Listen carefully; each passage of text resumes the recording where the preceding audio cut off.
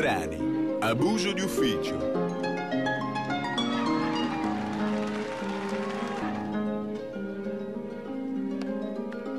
Roma, inchiesta Media Trade.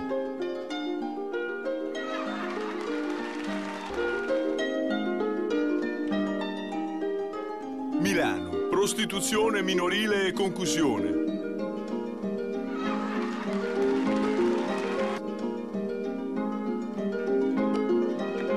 Induzione al mendacio. Bari,